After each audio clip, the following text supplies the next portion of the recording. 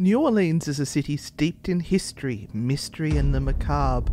Nestled in the heart of the French Quarter stands a building that whispers its own dark tales the Andrew Jackson Hotel. Built in the 1790s, this site originally housed a boarding school for boys orphaned by a devastating yellow fever epidemic. But as fate would have it, tragedy struck again. In 1778, a fire engulfed the building, claiming the lives of five young boys. An event that many believe still haunts the hotel to this very day. Of course, we had to stay here. Today, the Andrew Jackson Hotel is a charming boutique hotel welcoming you in from the moment you enter. But behind its picturesque facade lies a reputation that chills even the most seasoned travellers. Guests have reported ghostly encounters from the laughter of children in empty hallways to the sight of shadowy figures in their rooms. Some even say that the spirits of the five boys remain trapped here, playing pranks on visitors, while others believe that a former caretaker, affectionately dubbed Mrs. Davis, still watches over the hotel. Room 208, perhaps the most infamous room of all. Many who have stayed here speak of being awoken by the sensation of someone sitting on the edge of their bed or the inexplicable sounds of furniture moving on its own. Is it the playful spirits of the children, or is it something more sinister? It's also said that the ghost of the Andrew Jackson himself haunts the grounds. Legend has it that the general stayed here while planning his defence of the city during the Battle of New Orleans. Whether it's true or just a myth, the hotel proudly carries his name and with it a legacy of intrigue and paranormal activity. For the tourist chasing the dark side and ghost hunters, the Andrew Jackson Hotel is more than just a place to rest. It's an experience. Every creaking floorboard, every flickering light, every sudden chill in the air. Could it be the spirits trying to reach out? Or is it simply the weight of history pressing down on the haunted hotel? So, when you find yourself wandering the haunted streets of the French Quarter, consider spending a night at the Andrew Jackson Hotel, if you dare. After all, it's one thing to read about its history, but it's a very different thing to sleep in its shadow. So, Andrew Jackson Hotel, big thumbs up, loved it. Yeah, loved it? Yep. Yeah.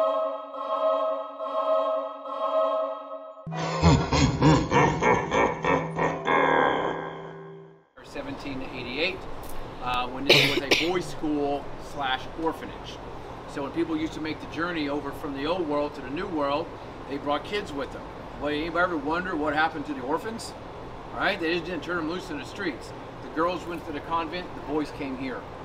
1788 on uh, Good Friday, I think it was April 1st or April 5th, uh, Good Friday was a great fire. It started over on Chartres and it burned down 85% of the city, including the structure.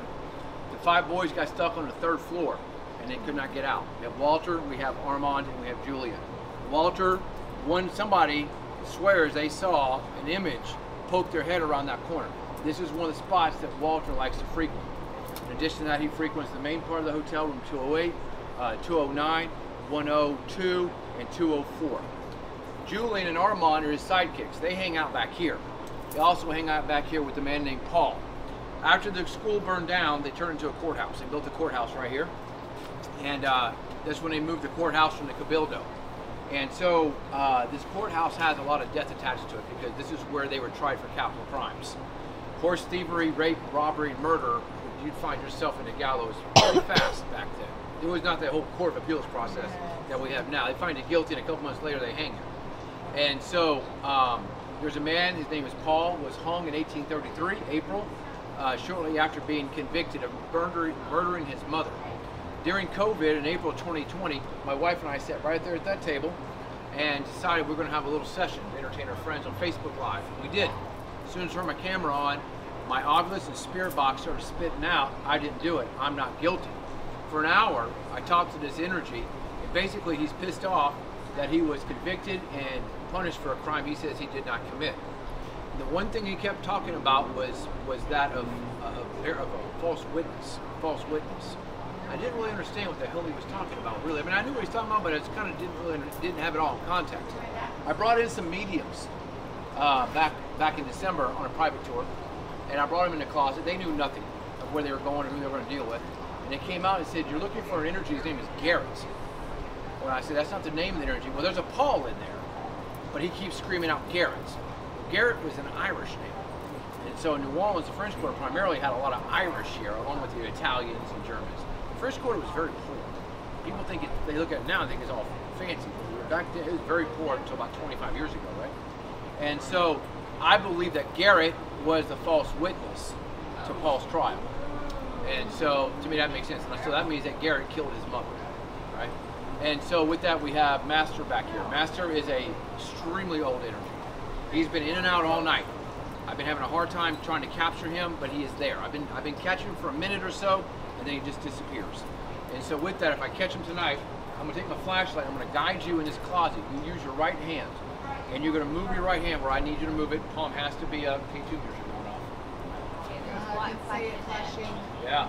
And so you're going to use your palm, you're to turn it, and then hopefully what I'm to do is I'm to get you to play patty cake, patty cake.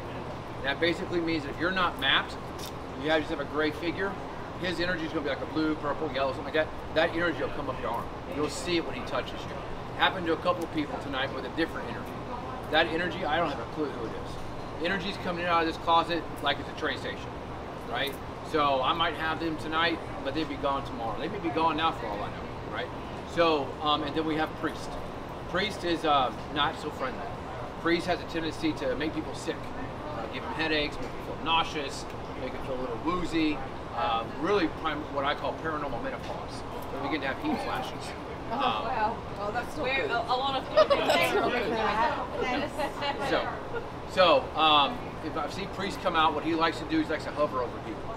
he'll manifest down here, and he'll pop up, and he just hangs over you like this. Is he attached? No, no, no, no. He just like he's like some fucking folks, you know. Um, but if I do see him swing his leg over and stand on top of you, both shoulders, I'll tell him to stop doing it, or I'll get the holy water.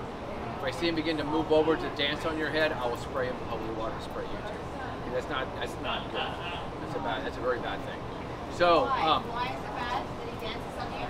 because it's a, it's a it's a sign of like trying to attach to you, get you sick. I've seen it happen in demonic possession. He's not demonic. He's not demonic. Okay. Yeah. But I but that's what I do. I don't like it because I saw that woman he was with, she actually went through a transitional possession. And I saw that energy stand on top of her. I got it on my I got it on my tablet to show it to you. Stood on her and kicked her in the head and I've seen it twice. So I see somebody doing that, I stop it. I don't So like it. he's just a nasty He's a piece of shit. Yeah, okay, right. But he's but But he, was he clergy? no, No. he's not clergy. Why do you call him priest then? Because that's what he that's the name he gave us. Like I don't have master's name. That's just what he wants to be called. So if I have an energy tells me he wants to be called Catmandu, I'm gonna call him Catmandu. Does he pick on women? It's everybody. It's not just one or the other. Some people he'll come out for a lot. He was out a lot earlier. So I don't know if he's gonna come out a lot or not tonight. I have no clue. I mean I don't know what's gonna happen tonight. Is he linked to the children? No. No, he's not linked to the children. Okay. So do they all know about each other? Apart from the little boys who all die together? Does the master know about the kids? Like, do they all Master is a protector of the children. Okay. Right. right? Like I didn't see any of the boys come out. Julian did not come out tonight. I have not seen Gabriella tonight. I have not seen Armand tonight. So, you know, maybe it was the first group. I don't know. You know, I think that people's energy dictates how this closet goes. Okay. That's what I believe. Cool. So let me grab some stuff out of here, and we're gonna get started. So do you want both feet? Come on, you can do it. Make that cup all light up. Yeah, you gotta be- you gotta Yeah. be careful of your movements. I understand. I understand. I get it. I know. What I'm trying to do is They're trying to get Master to come out all night. Can I go in the room? Is that alright just while you're Thank you. reconfiguring that? This will not. You Is can, but it won't pick up anything else. This he can only map two at one Two time. people. No worries, I won't. I won't. You can map him plus two energies. separately. Oh, But okay. it, yeah, but it can't. It can only map two people, and we'll pick up nothing see. No else. worries.